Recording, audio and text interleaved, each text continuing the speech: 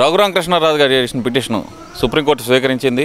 Jaganmohan Reddy bail రద్దు చేయాలనే petition అలానే చూస్తే కనుక హైకోర్టులో వేసిన పిటిషను ఏదైతే కనుక నలభై ఒక్క శాఖల్లో అవినీతి భారీ ఎత్తున జరిగింది వేల కోట్ల అవినీతి జరిగిందని చెప్పి ఆ పిటిషన్ స్వీకరించడం జగన్మోహన్ రెడ్డికి సుప్రీంకోర్టు నోటీసులు ఇవ్వటం ఇటు చూస్తే కనుక మరో పక్కన చూస్తే ముప్పై ఎనిమిది శాఖలతో పాటు ఈ అవినీతి ఆరోపణల్లో కూడా జగన్మోహన్ రెడ్డికి నోటీసులు ఇవ్వటం. ఇటు హైకోర్టు సుప్రీంకోర్టు వరుస దా వరుసగా ఆయనకు నోటీసులు ఇవ్వటాన్ని అసలు ఏ విధంగా చూడొచ్చు అంటారు?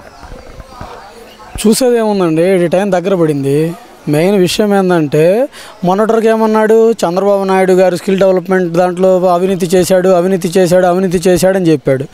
వీడి దగ్గర ఒక్క ఆధారం లేకుండా చివరికి ఏమైంది ఆ కేసు నార్మల్ బెయిల్ ఇచ్చారు తర్వాత ఇప్పుడు కంటిన్యూషన్ బెయిల్ ఇచ్చారు. దానివల్ల ఆయన సేఫ్ అయిపోయాడు. వెంటనే ఈ టైంలో మన రఘురామకృష్ణరాజు గారు ఏం చేశారు? రెబల్ ఎంపీ వెంటనే అయినా అసలు ఈ జగన్ కేసుని తెలంగాణ గవర్నమెంట్ నుంచి కూడా మార్చేయండి. వేరే రాష్ట్రానికి ఈ కేసుని పంపియండి అని చెప్పి ఆయన పిటిషన్ వేశాడు. ఆ పిటిషన్లో పిటిషన్ ఏమైంది? ఇప్పుడు కేసీఆర్ది కూడా పా అక్కడ బాగా తెలంగాణలో కొంచెం కష్టంగానే ఉంది పరిస్థితి. కాంగ్రెస్ ఏమో జనాల్లో ఉంది కేసీఆర్ పబ్లి ఇది బీఆర్ఎస్ ఏమో పబ్లిసిటీలో ఉంది.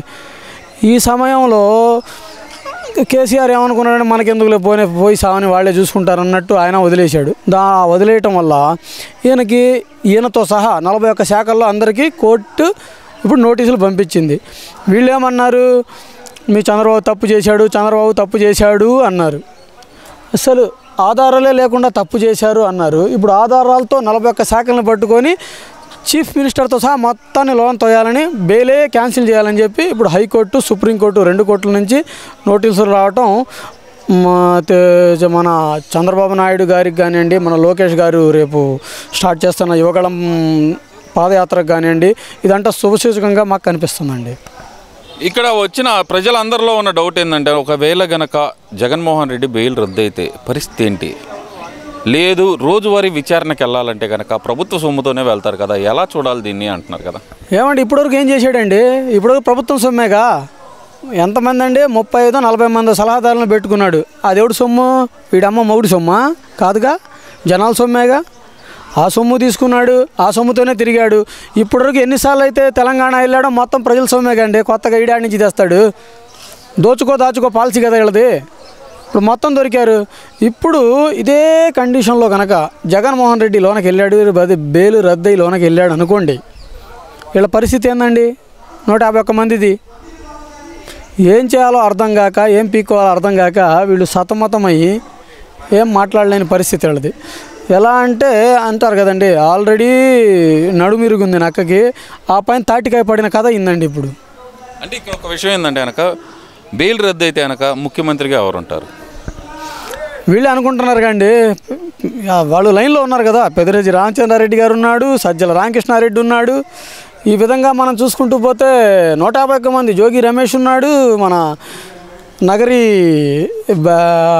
అద అటు అటు తిరుగుతూ ఉండిద్ది. అదొకటి ఉంది. ఇటు పేట నుంచి ఉంది. ఇంతమంది ఉన్నారండి. ఇంతమంది శాసనసభ్యులు ప్రతి ఒక్కళ్ళు రేసులో నేను నేనంటే ఆ విషయం కోసమే వీళ్ళు పోటీ పడి తిట్టుకుంటున్నారు. ఇందులో ముఖ్యంగా ఒకడున్నాడు ఆ గుడివాడ గండు. వాడు మరీ దారుణం. భాషను ఎలా చూడాలంటారు? ఈ మధ్యకాలంలో ఆయన మళ్ళీ నిన్నైతే ఒక మాట అయితే అన్నారు. గుడివాడను అభివృద్ధి చేసింది ఎవడు? నీ అమ్మ మొగుడు అభివృద్ధి చేశాడా? నేనే అభివృద్ధి చేశానని చెప్పి చంద్రబాబు నాయుడు గారిని ఉద్దేశించి ఈ భాషను ఎలా చూడాలంటారు? ఏమండి వీళ్ళు చదివింద చదువుని బట్టి ఇలా భాష వచ్చిందండి. వీళ్ళు ఏం చదివారని? వీళ్ళు చూడండి. ఇప్పుడున్న ఎమ్మెల్యే శాసనసభ్యులు ఎంతమంది అయితే ఉన్నారో ఇందులో గ్రాడ్యుయేట్స్ ఎంతమంది అండి అదేంటంటే డిగ్నిటీగా ఏమంటారు వీళ్ళు? బిజినెస్ మ్యాన్ ఏం బిజినెస్ చేశారు? కొబ్బరి బొండాలు కొట్టినోళ్ళు ఐసులు అమ్ముకున్నోళ్ళు రాలి కిరీనాలు వీళ్ళు బిజినెస్సా ఇది బిజినెస్ అంటే మరి ఈయన లోకేష్ గారు చదివాడు ఎక్కడ? ఫారిన్లో చదివాడు ఐటీ మిని ఆయన కోర్సులన్నీ ఫారిన్ ఆయన ఏంటి? మన మిగతా ఏలుడు సాంబశివరావు గారు ఉన్నారు ఇలాంటి ఎమ్మెల్యేలు మన వాళ్ళ శాసనసభ్యులు ఉన్నారు వీళ్ళేంటి వీళ్ళని వాళ్ళని కంపేర్ చేసుకుంటే వీళ్ళ వీళ్ళు మాట్లాడే ఆ దరిద్రమైన భాషలోనే వీళ్ళ బతికందనే తెలిసిద్దండి. రోజా గారి గురించి మాట్లాడారు కాబట్టి ఒక చిన్న క్వశ్చన్ అండి. ఏదైతే బండారు సత్యనారాయణ గారి మీద ఒక కేసు అయితే పెట్టింది ఆమె నన్ను మానసికంగా కొంగదీసి నేను ఆత్మహత్య చేసుకునే విధంగా నా కుటుంబం సహా ఆత్మహత్య చేసుకునే విధంగా వాళ్ళు నన్ను ప్రేరేపించే విధంగా నన్ను మాట్లాడుతున్నారు నా పరువు తీస్తున్నారు అని చెప్పి పరువు నష్టం దావా అయితే ఒకటి నగర కోర్టులో అయితే వేయటం జరిగింది. ఎలా చూడ చూడొచ్చు అంటారు ఈ కేసుని? ఏమ్మా ఇప్పుడు నీకు గుర్తొస్తుందా? నేను ఆడదాన్ని అనే బాధ నీకు ఇప్పుడు తెలుస్తుంది నీ దగ్గరకు వచ్చే తలకి నీ కాళ్ళ కాడికి నీళ్ళకి వచ్చేతలకి నీకు చెల్లి అనేది తెలుస్తుంది. ఏమ్మా అంతకుముందు బ్రాహ్మణి గారిని అన్నారు. శాసనసభలోనే అన్నారుగా అప్పుడు అక్కడ తప్పట్లు కొట్టావుగా? భువనేశ్వరి అమ్మని అన్నారు. అప్పుడే ఆడికి వెళ్ళారు. ఆడవాళ్ళందరినీ మీరనేసి ఇప్పుడు నీ దగ్గరకు వచ్చే తల్లి గోల పెడుతున్నాను సరే కేసు వేసావు ఏమైనా ముందుకెళ్ళింది ఆ కేసు? బండారు సత్యనారాయణ గారు అలాగే బయటకు వచ్చేసాడు ఆయన. ఏ ఇబ్బంది లేకుండా. మీరు ఎంత చేసినా కూడా గగ్గోలు పెట్టడం తప్పనిచ్చి మీ వల్ల అయ్యేది ఏమీ లేదు ఒరిగేది ఏమీ లేదు.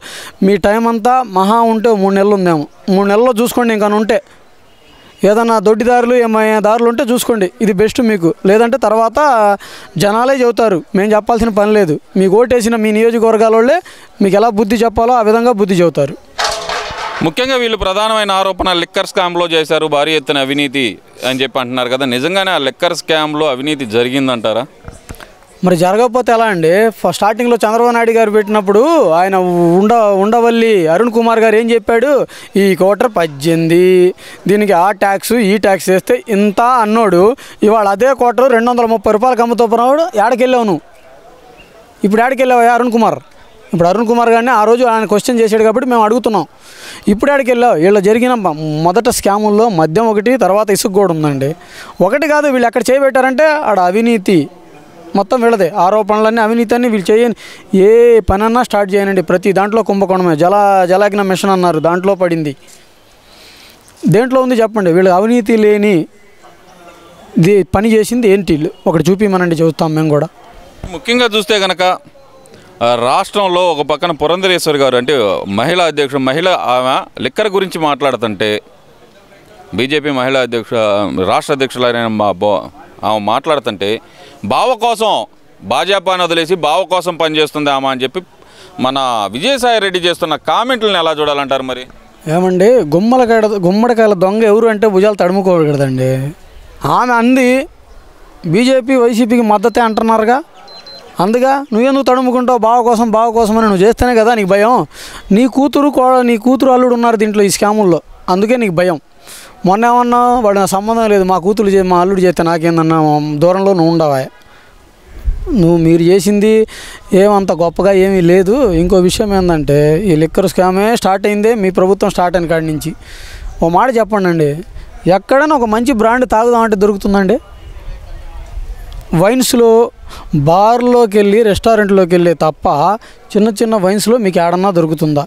స్టెరాయిడ్ ఎక్కువ కలిపేసి పక్క దేశాలు రాష్ట్రాలు ఈ లిక్వర్ ఈ ఇది వాడకూడదు ఈ కెమికల్ వాడకూడదు అనే కెమికల్తో లిక్వర్ చేసి మీరు అమ్ముతున్నారు. ఇది మొత్తం ఎవరి అండి మీ శా- శాసనసభ్యులు కాదా?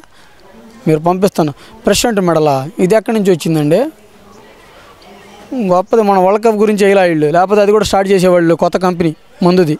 అంటే ఇక్కడ ఇంకో విషయం ఏంటంటే కనుక లిక్కర్ రేట్లు పెంచడం వల్ల జనాలు తాగటం తగ్గించేశారు. రాష్ట్ర ఆదాయానికి గండిపడుతున్నా సరే ముఖ్యమంత్రి మద్యపాన నిషేధంలో భాగంగా రేట్లు పెంచేశారని చెప్పి చెబుతున్నారు కదా. ఇది వాస్తవమే అంటారా?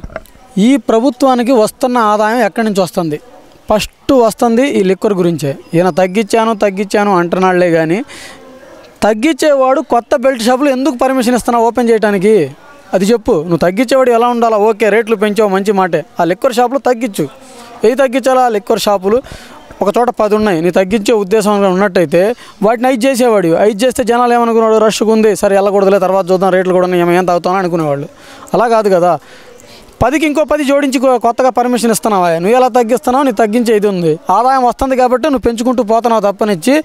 నేను తగ్గించాలి జనాల్ని మార్చాలనేది ఏం లేదు. ఇప్పుడు చూడండి మొన్న ఏదో డాక్టర్ గారు సర్వేలో చెప్పారు.